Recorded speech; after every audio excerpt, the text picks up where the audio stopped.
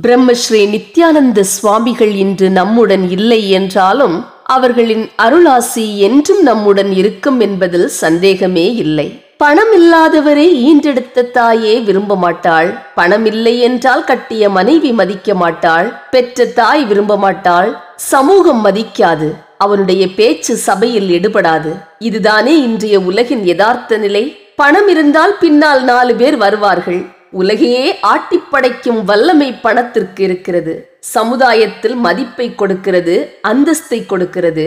பணமில்லை என்றால் சாமியை கூட சில நேரங்களில் பார்க்க முடியாது.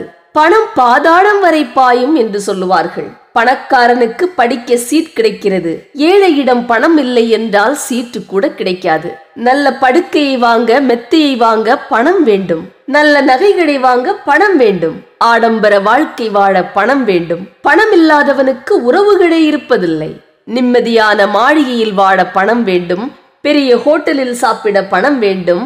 பிராண்டட் ஆடைகளை வாங்க கார் வாங்க பணக்கார பெண்ணை திருமணம் செய்ய விமானத்தில் பயணிக்க என்று எல்லாவற்றிற்கும் பணம் வேண்டும். பாசம் என்பது மனதாலும் உடலாலும் நாம் கொள்ளும் பற்று. பாசத்தை விலை கொடுத்து வாங்க முடியாது. ஆனால் இன்றைய பெற்றோர்கள் பாசத்தை ஊட்டி வளர்க்கிறார்களா? இல்லை பணத்தை ஊட்டி வளர்க்கிறார்களா? என்பதைத்தான் நாம் சற்று ஆராய்ந்து பார்க்க வேண்டும்.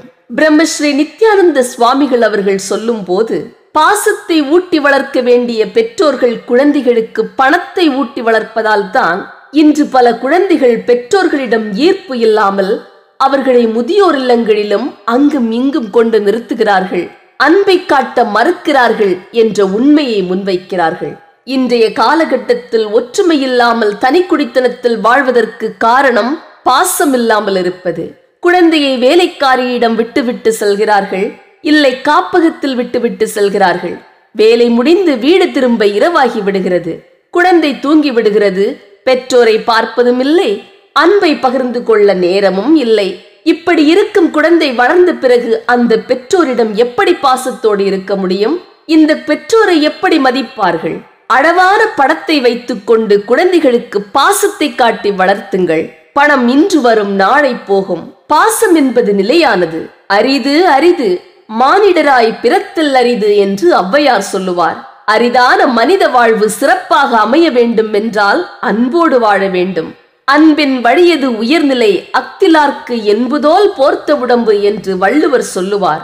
அன்பை அடிப்படையாக கொண்டதுதான் இந்த உயிர் நிறைந்த உடம்பு. அன்பே கடவுள் என்று திருமந்திரம் சொல்லுகிறது.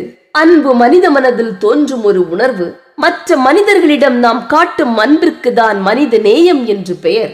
பாசம் என்பது எதிரியும் மற்றவர்களிடமிருந்து எதிர்பார்ப்பதில்லை. இல்லறம் நல்லறமாக மாற வேண்டும் என்றால் அங்கே பாசம் இன்றியமையாதது பாசத்திற்கு ஈடாக இந்த உலகில் நீங்கள் எதையும் கூறிவிட முடியாது. ஒரு பாசமில்லாத உலகம் என்பது நரகத்தை போன்றது. பாசம் பணம் என்று பார்த்தால் ஒரு மனிதனை உணர்வு பூர்வமாக மற்றொரு மனிதருடன் இணைக்க வல்லது பாசம் மட்டும்தான். அதனால் தான் பிரம்மஸ்ரீ நித்யானந்த சுவாமிகள் அவர்கள் உங்கள் குழந்தைகளுக்கு பாசத்தை ஊட்டி ஊட்டி வளருங்கள். அப்போதுதான் உங்கள் குழந்தை பிற்காலத்தில் உங்களை பாசத்தோடு பார்த்து கொள்ளும். இல்லை என்றால் உங்களிடம் இருக்கும் பணம் தீர்ந்தவுடன் உங்களை உதறி தள்ளிவிட்டு சென்றுவிடும். குழந்தைக்குள் இருக்கும் அறிவையும் ஆற்றலையும் கண்டுபிடித்து அதை வளர்த்து முயற்சி செய்யுங்கள். பாசத்தை ஊட்டி வளருங்கள். அப்போதுதான் பெற்றோர்களின் நிலை மாறும். என்ற கருத்தை முன்வைக்கிறார்கள். நன்றி.